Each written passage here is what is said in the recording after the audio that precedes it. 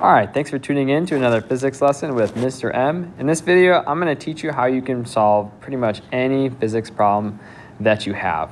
Um, this video is really, really good for like beginner physics students. Um, I know I have a lot of videos out there that show specifically how to do like these specific pro physics problems, but in this video, I'm going to really break down how to solve really any physics problem because I pretty much do this in all of my physics videos.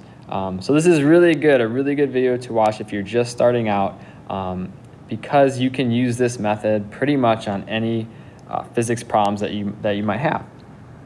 And so the first step is to read the problem carefully. This is probably one of the, the um, most amount of uh, issues that I get with the students is they they're like, oh, I didn't see that, or oh, that's what that meant, or um, just putting the wrong number down. So first and foremost, please, please, please make sure that you're reading the problem carefully. It's going to make a difference. The second step, can you interpret what the problem is saying by drawing a picture?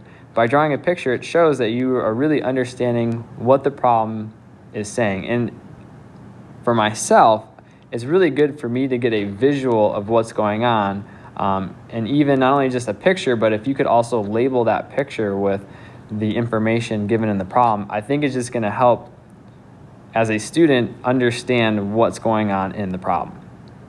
Once you've drawn your picture, the next step is to list your knowns and your unknowns. So what did the problem tell you? All right, what values and what units did they tell you? And what are they asking for?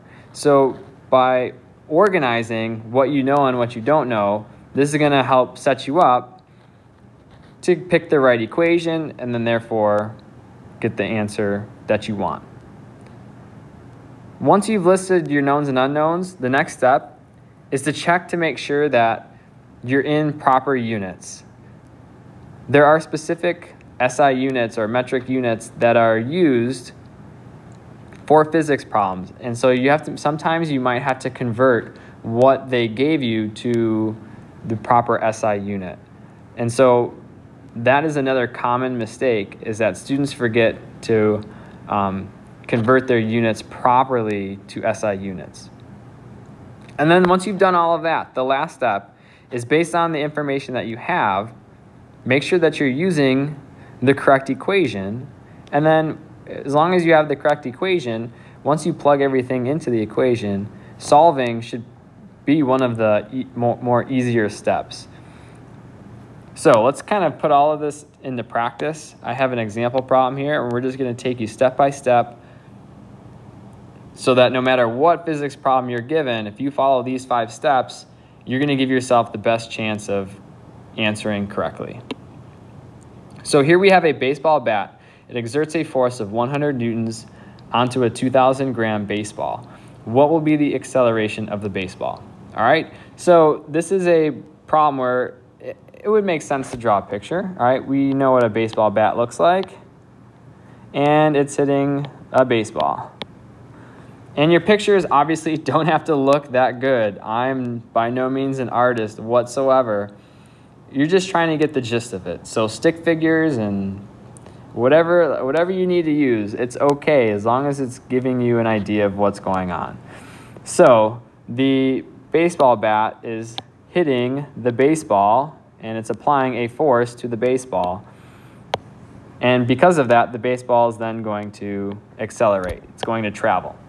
All right, and the question is asking, what's going to be that acceleration? So we read the problem carefully. We have understood it by drawing a picture. Our next step is to list our knowns and our unknowns. So what do we know and what are they asking us for? So one thing that we know, we have a force of 100 newtons. So we're going to label that. And we're going to list it. We also know we have a 2,000 gram baseball. So that is the mass of the baseball. It's telling us like how much it weighs. So our mass was 2,000 grams. It's important that you are using the correct symbols and the correct units as you're listing your knowns and your unknowns. And that's something that you'll know as you're going through whatever physics unit you have.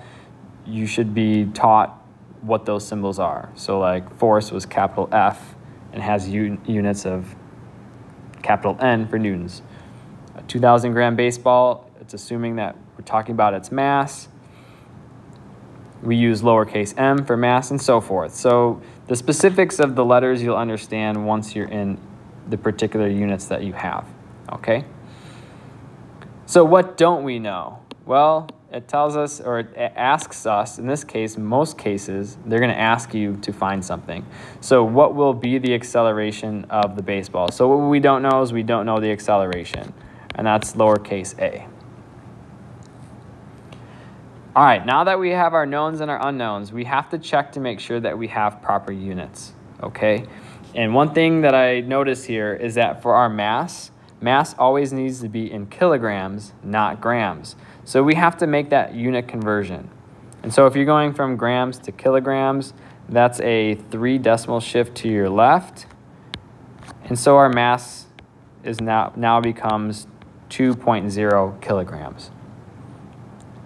Like I said, this is a very common student mistake is to bypass doing unit conversions.